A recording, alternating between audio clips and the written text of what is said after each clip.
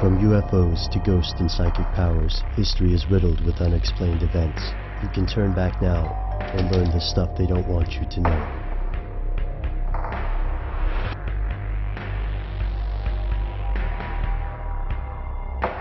Here are the facts. In an earlier episode, we explored how the human brain is not always the objective reporter we imagine it to be. Although most of us like to think we're rational, intelligent observers of the world around us, our track record proves otherwise. This may sound discouraging, but don't worry. If other people can hack your brain, that means you can too. Here's where it gets crazy.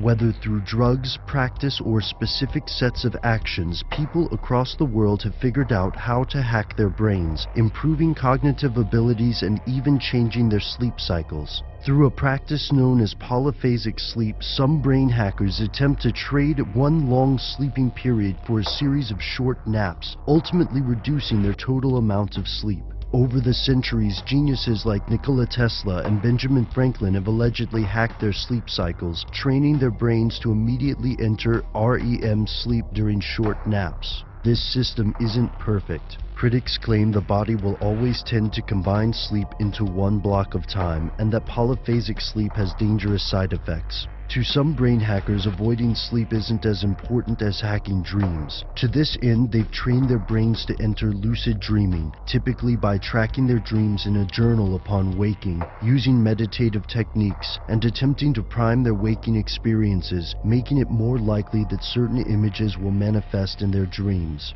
But you don't have to be asleep to hack your brain. Due to the Ganzfeld effect, human brains deprived of sensory information will consistently amplify the random activity of neurons, essentially triggering hallucinations. This means that depriving yourself of external sensory stimuli will inspire your brain to provide its own entertainment. However, some brain hackers don't want trippy hallucinations. They want a better, faster brain, and they'll resort to drugs if necessary. Although Adderall has become an increasingly familiar product on college campuses, it's far from the only smart drug on the market.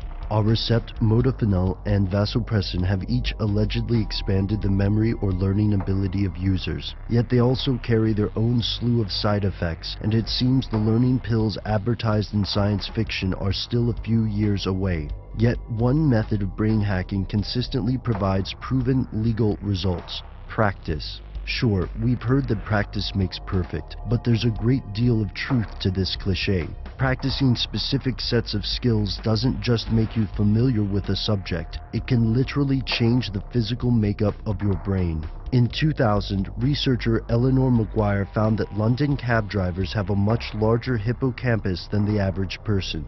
These cab drivers are forced to memorize thousands of routes in an extraordinarily difficult test called the knowledge, and Maguire's research suggests that this extensive memorization physically alters the brains of cab drivers. Cabbies aren't the only example of neuroplasticity. Studies conducted on Buddhist monks have found that meditation also alters brain structure, and pianists experience changes in brain regions controlling their fingers. These are real life examples of mind over matter. The mental exercises you perform frequently can drastically affect your brain's function over time, in good and bad ways. This means that every thought you have helps create the person you will be in the future, whether you're memorizing the sprawling streets of London or learning the stuff they don't want you to know.